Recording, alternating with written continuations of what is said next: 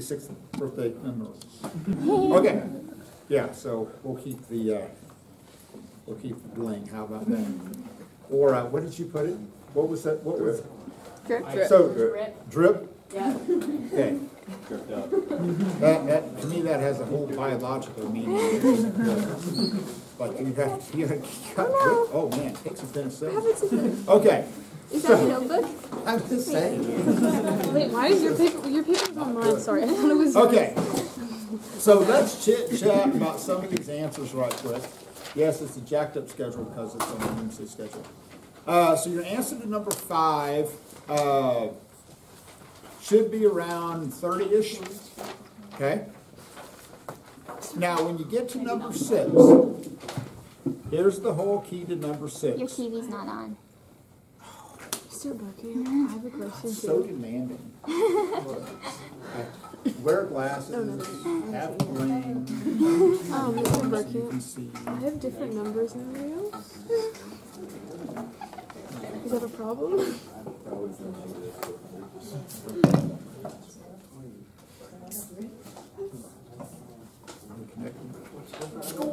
Okay. What's the,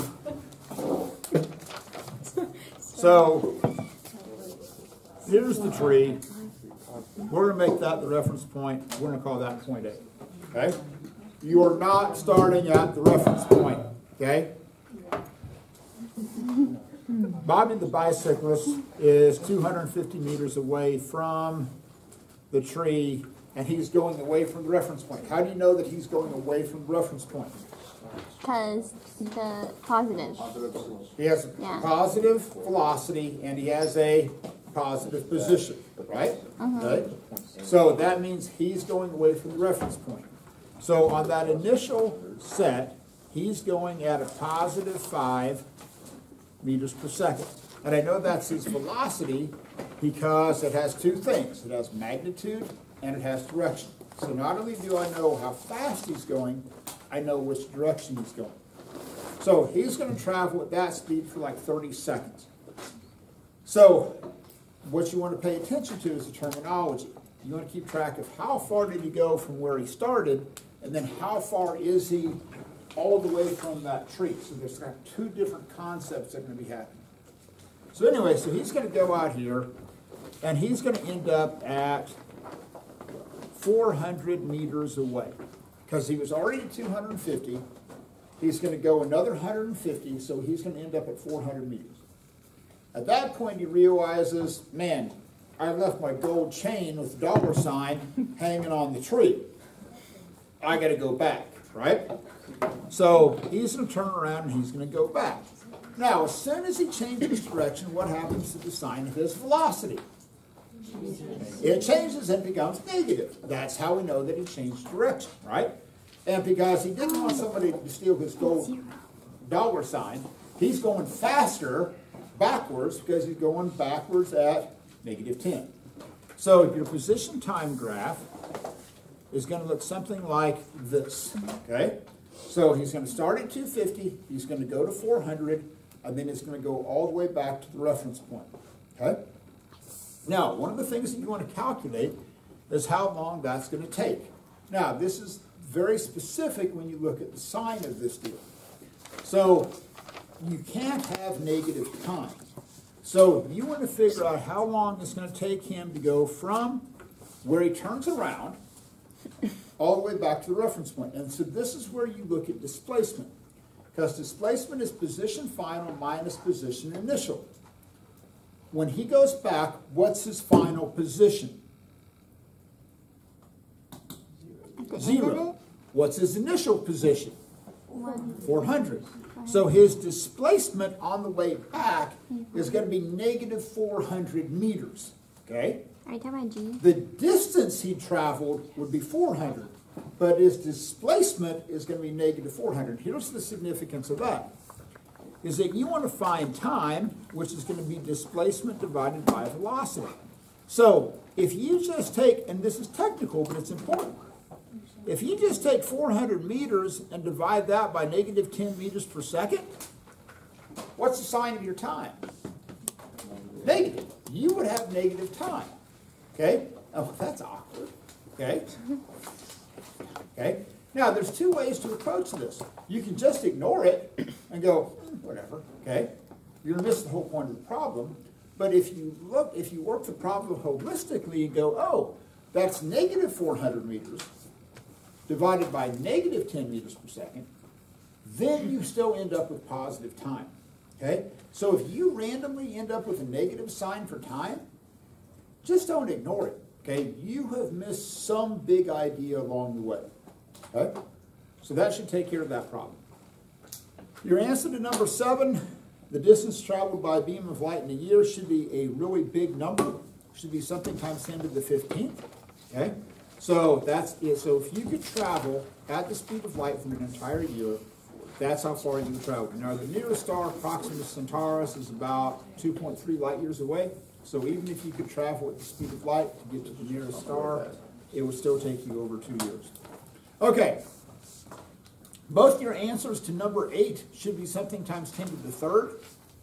Okay? Make sure your answer to number nine somehow involves the word instantaneous.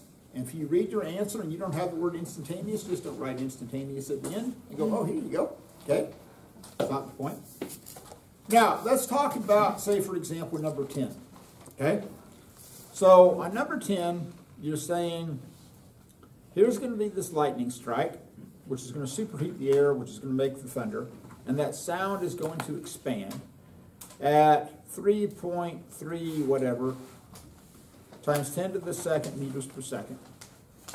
And you are uh, 1.609 kilometers away. You want to know how long it's going to take for you to hear that sound. So let's just think this through. Okay? First off, you have this in kilometers and you have that in meters per second. So right away, why is that problematic? Yeah, units aren't going to work out. Okay? So you either change the kilometers into meters or you change the sound into kilometers per second. Most people change this into meters, it's 1,609, multiplied by 1,000. So we got 1,609 meters, okay? Now, this is why it's sometimes handy to view this in terms of a ratio. So this number here, in round numbers, is about 330 meters per second. So understand what that means. It's a rate function. It means that for every second that goes by, this sound travels 330 meters. Okay, that's what that means. Okay? Now, is the distance that you're going to travel bigger or smaller than 330 meters? Bigger. So what does your time have to be bigger than? One second. One second.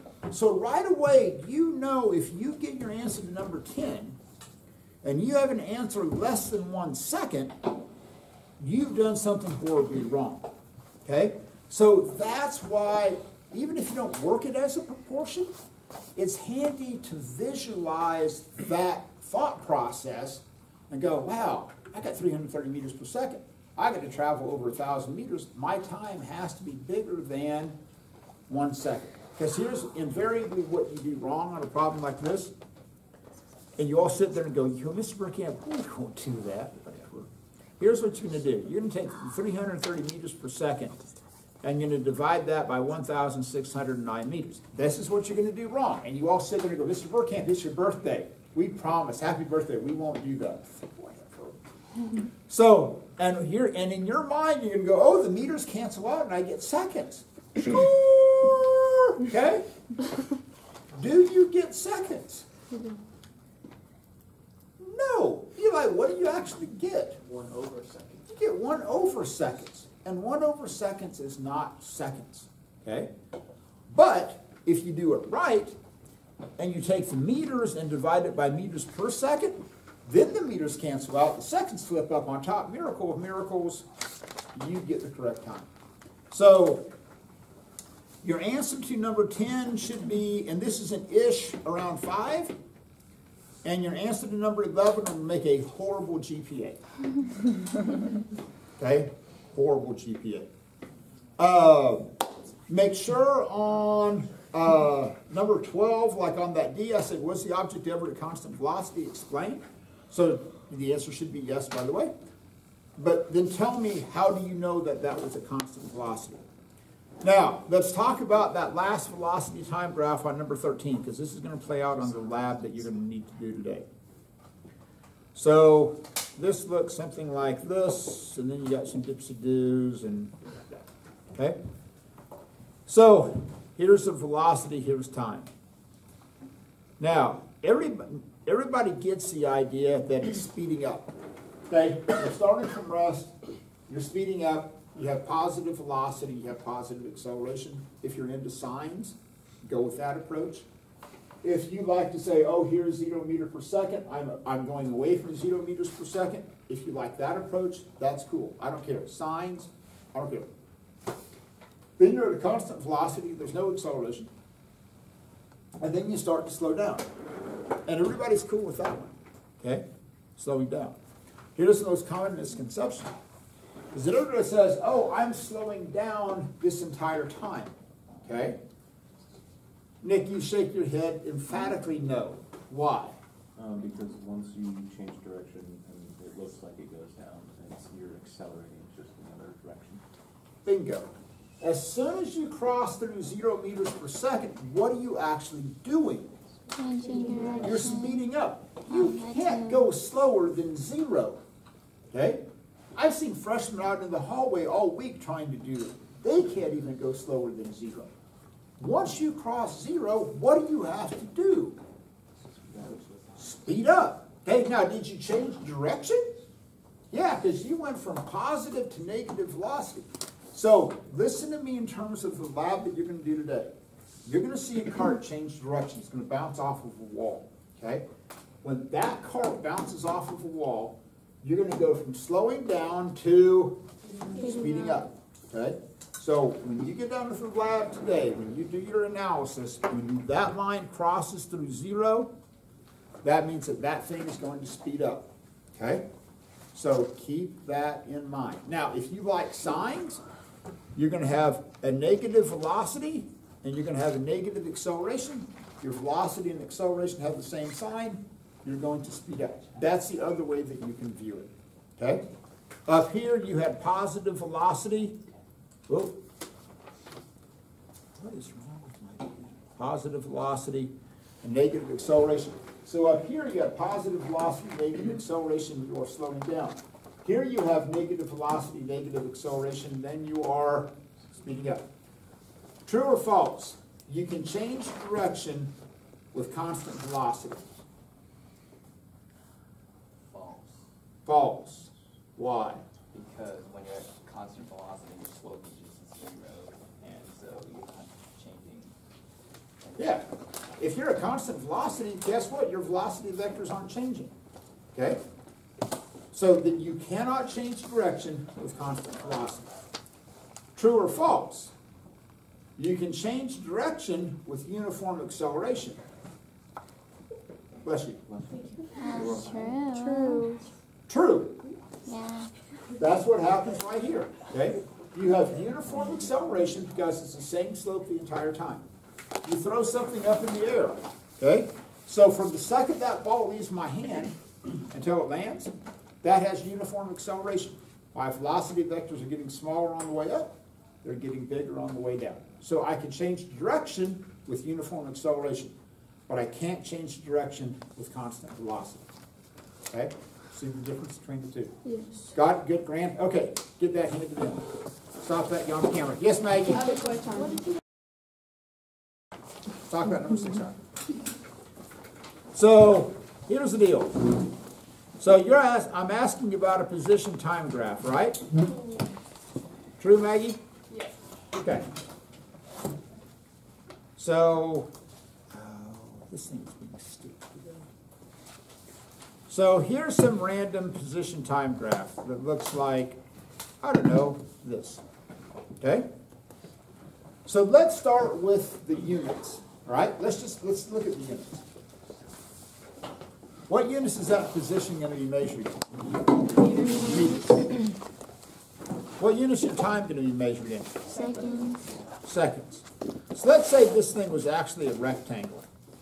Okay? Let's say it was actually a rectangle. If I multiplied, let's say, five meters by ten seconds, what would I get? Well, my answer would be fifty, but what units would I have? Nope, Times. nope. I'd have meter seconds, right? Now, now, what's measured in meter seconds? Nothing. absolutely nothing. Okay? This is like talking to a freshman that has no meaning. Okay? Seriously. Because the, units don't work out. Okay, you can find the area, but it has no meaning. Now, if it was a velocity time graph, then you would have meters per second times seconds. Then you would get meters, then that would have meaning. Okay? Does that make sense? Yeah. Okay. Anything else going on? Let's go try solar. Okay, get that handed. Okay, You can already hear her laugh. so here's what you're gonna do in this lab.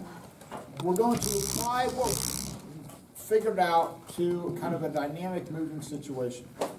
So the big picture is that you're gonna take the cart and it's gonna roll along the wall, or along the floor, it's gonna hit the wall and it's gonna bounce back. Okay, so that's gonna be your motion. Point, point, back. Okay? I wanna, I wanna draw the position time graph and the velocity time graph for that motion. But let's start with, let's start with a simple idea first. And this is this pre-lab that's up there at the top. So we're just gonna collectively do that together, kind of in the name of time, since we went out and had to see the thing. All right. So, imagine this. I'm just gonna push this cart, okay? And this is gonna be the reference point. And we're, then listen to me. We're not going to include the push. We're gonna start this analysis after it has left my hand, okay? So here's the reference point, this is zero. It's gonna roll along, it's gonna slow down a little bit, and then I'm just gonna stop it, okay? So we're here, it's gonna roll, stop. So what would the position time graph and the velocity time graph look like for that motion? Assuming that it's slowing down just a little bit as it rolls. It's slowing down. It's slowing down just a Then little it bit. is an upper lip. Yeah. So there's the position time, there's your velocity time. The velocity time is not going to start at zero, zero, because it's already moving, okay? So what would the let's start with the velocity time, what would that look like? The velocity So, time? Here's my velocity time graph, it's already moving, right? It's gonna slow down a little bit, and then it's going to, bam, stop. Then what's it gonna do? Drop to zero. drop to zero really quickly, right? Now, remember, what does the slope of a velocity time graph give you? Acceleration. Acceleration. So I had a tiny little, I had a little bit of acceleration as it's rolling, and then bam, big acceleration, right? Now, if you look at F equals ma, if you want big acceleration, what do you have to have? Small. Wait, no. Big, Nope. big force, right? Big force gets big acceleration. Small force gets small acceleration. I was gonna say small mass, but it's saying that force is constant. You know. Now, what would Okay, the never mind. position time graph look like? Assuming that we're starting at the reference point. The um, point that I let go of it, Preston, what does this mean? Don't take away oh, Mick Jagger. Am I going on Mick Jagger? Oh, I gotta have the glasses to do that. Oh, you want them? Yeah, I'll do the Mick Jagger lips. Let the cameras. That fits. I just figured out who Mick Jagger was the other day. Yeah. See? Am I going on Mick Jagger? I've got huge lips. Okay. So you say it's gonna be the upper lip, right? Uh-huh. So something like this. Now, as soon as I stop it, what does it do? Straight line? Vertical? Horizontal? Horizontal. Okay? So, this would be rolling along, boom, I stop it, flat line, right? I can't do that. Okay. Cool with this. Now, if I were to measure this area underneath that velocity time graph, what would that represent? Displacement. It would be how far the cart rolled before I hit it. Okay? Cool with that. Now, we're going to change it up. We're going to do the same thing. It's going to roll, it's going to hit, and then it's going to bounce back. Okay? So, is the velocity time graph still going to look the same at the beginning? Yes. Yeah. Yes, why, Cooper? You say that with utmost confidence. Because it's doing the same motion. It's doing the exact same motion, right? Okay, now, but it gets to this point, and the spring is compressed. Okay? Now, at this point, we haven't talked about energy, but here's a very brief energy lecture. There's two general classifications of energy. There's potential energy and kinetic energy. Okay? Mother Nature hates potential energy. Okay? Snapchat, Instagram. Somebody said something about somebody on some social media. Mother Nature and potential energy don't like each other. Okay? Mother Nature much prefers kinetic energy, kinetic energy from Greek word kinesis, which means motion. Okay? So Mother Nature likes kinetic energy, she likes motion much more than she likes potential energy. Which is true. Like if I hold this up and I drop it, what happens? It's moving. It's moving. You change from potential energy into kinetic. So when Mother Nature hits and, and we store energy in the spring, that's storing potential energy in the spring because it's being compressed.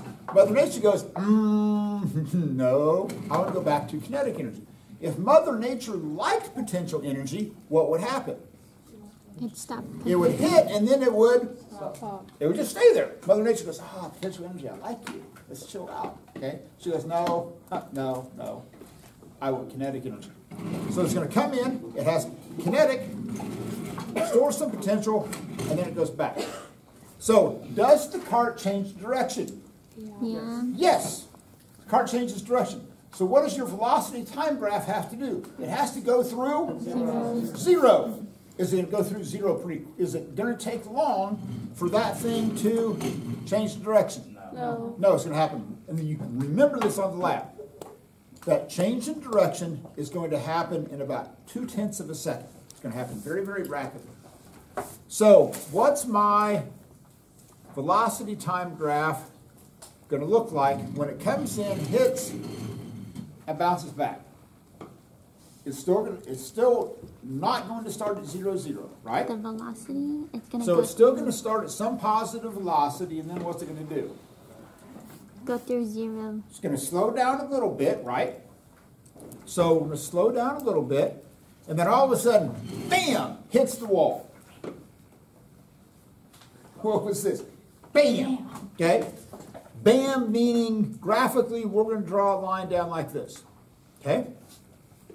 So physically, what took place to start to slow that down? What did it do? It hit the wall. So it hit the wall at this point. Because here's the deal force equals mass times acceleration. If you're going to change the acceleration, what do you have to do? You got to change the force, right? So does the force change when it hits the wall? Yeah. Oh yeah, right? Hits the wall, right? So at this point, this thing is slowing down, and it's slowing down rapidly. Okay.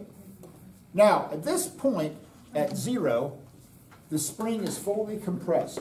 Okay, we're like this. Okay, that spring is fully compressed. Mother Nature has a decision to make. She goes, I leave it like this, or I project it back in the opposite direction. Mother Nature goes, hmm, nah, I don't like your potential energy. Screw you. We're going back to kinetic. So Mother Nature goes, oh, we're going to change it back to kinetic.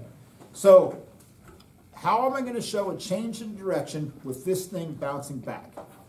What's that line going to do? Pass through zero velocity. Dime, what did you just say? You go past the zero point. Oh, it's going to go past the zero point, right? We? This is French? Wee wee. Okay. Well, right now, Do we even have French anymore? uh, you got to go to May South. What? Yeah. Miss Ashley is not from She, she teaches English. Okay. Now, so here's what I want you to think through. Topher, what is happening right there to make that cart speed up? That's true, but what's making you? It is a spot-on answer. But what is physically happening to make that cart speed up? What's the spring doing? Yeah, or expanding, right? So that we compress the spring to slow it down. When the spring expands, that speeds it up. So here the spring is expanding, okay? Now, at this point, it's going to leave the wall. As soon as it leaves the wall, what does it begin to do? Slow down. It begins to slow down because there's a little bit of friction. So at this point, we're going, to, this is when it is going to leave the wall. Okay, which is horrible, I just, but it's like, it's not writing consistently. So, that says leave, trust me, okay? It's not, it's modern art. Okay? So, that says leave. Okay, something close to that. So, here's what happens. We're rolling, we hit the wall. Bam! We store potential energy or kinetic energy as potential. Mother Nature doesn't like it. Mother Nature says, ooh, we're going to expand that spring. Then it's going to leave the wall at this point. Then it's going to do one of two things. It's either going to slope up towards zero, or it's going to slope away and come down like that. Slope up to zero. Slope up towards zero. Why? Because it's slowing down.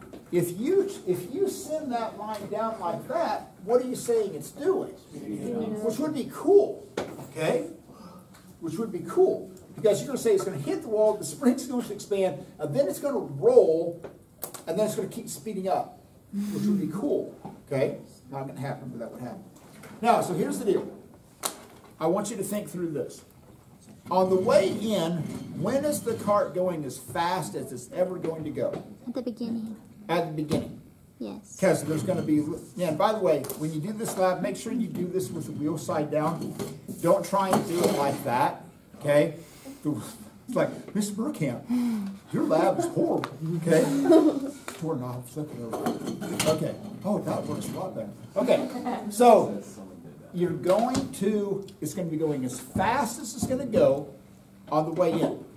When is it going as fast as it's going to go on the way back? Once it hits, it's like right after it hits your hand. Yeah, as soon as that plunger leaves your hand or leaves the wall, that's when it's going to be going as fast as it's going to go. Okay, now there's like 26 of you. I need big groups, like five or six in a group. Okay, so this is where this is going to take some teamwork. Get your phones. We're well, not right now, but you're going to have your phones. You're going to use your phones as your stopwatches. So here's what's going to happen. You're going to go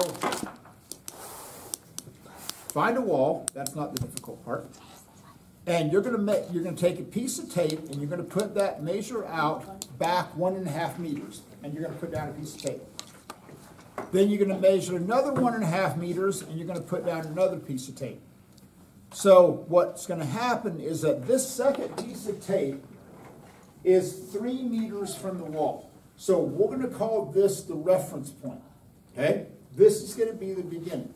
So, you're gonna, here's the wall, right?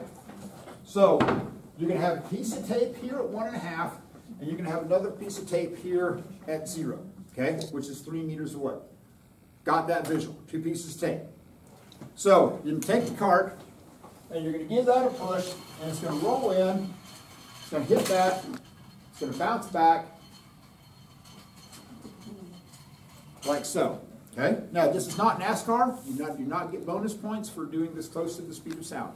Okay? Tough to get good data that way. You go, oh, seriously? Okay, so here's why this takes about five people. So you might have Cooper timing it from zero to one and a half. Now, what you have to be careful of is that you all, all of you have to go off the same point, which is the front edge of this plunger. So Cooper's going to start his timing when it goes from zero, and he's going to stop his when it crosses the one and a half meter mark. Okay? Dime is going to is going to time it from one and a half meters until the cart is fully stopped against the wall. Okay? Got that? Taylor is going to time it from when it's at the wall back to one and a half. Now, what's critical is that Taylor is not going to stop her stopwatch until the front edge of that cart gets back across that tape. Okay? Not with this edge, but when this front edge hits. Then, Mr. Hausman is going to, Michael's going to change it, time it from one and a half back to zero. So you can have four people time it. Zero to one and a half, one and a half to three, three back to one and a half, one and a half back to zero. Okay? Then you're going to have Eli timing the entire thing. So when you add together all of the times, they should add up to within about a tenth of a second of what Eli timed it as the entire thing. Okay? So, on your data table, which time, you're going to have four time intervals. Which time do you think should be the smallest? Zero, two, one. That's, where you're going fastest. Now, make sure that that cart is already moving when it crosses that mark. Don't include the push, okay? Now, you have a column there that says elapsed time. And I'm just going to make up the numbers. So let's say that first one is one second and the next one is 1.2 seconds, okay? So here's what's most critical. You're going to keep a running total of your times, okay? So on that second column, at the end of this interval, you're at 2.20 seconds, okay? Whatever it is when you add those together. That's how long it took to get to the wall, okay? Now, that's, listen to me, that's when your velocity is going to go to zero. That is the most critical time that you have to have. So if this is my data, your position time graph is going to look something like this. There you are at 3 meters. That's going to be 2.20 seconds. On that velocity time graph, which is going to look something like this, doink, doink, doink, that's going to be 2.20 seconds. So whatever you have, listen to me, whatever you have as the sum of that second column, that's when that position time graph breaks over zero, and that's when your velocity time graph goes to zero. Okay? That's the most critical stage. Now, you're going to have to calculate displacement. How do you calculate displacement? What minus what? Position. Final minus initial. On the way in, what's your initial position? Zero. What's your final position? Zero. One and a half. Oh, Okay? Then you can go from one and a half to Oh, three. three. Then you can go from three to one and a half. Then you can go from one and a half to Zero. Is your velocity going to change sign? Yes. Yes. So here's the key assumption that we're going to make. To get the velocity over an interval, we're going to assume that over that short of interval, our velocity is relatively constant. So to get your velocity, you're going to take your displacement, which on that first one would be one and a half meters, divided by one second, you get one and a half meters per second. You should end up with two positive velocities, and you should end up with two negative velocities. Notice in big bold letters I said, be sure to show any calculations. You should have four calculations. Excuse me, you should have eight calculations. Four calculations of displacement, something minus something, and then you should have four calculations of velocity and displacement divided by time. Okay, we got about 15 minutes. Get your data, okay? Don't worry about the analysis, focus on getting the data. Get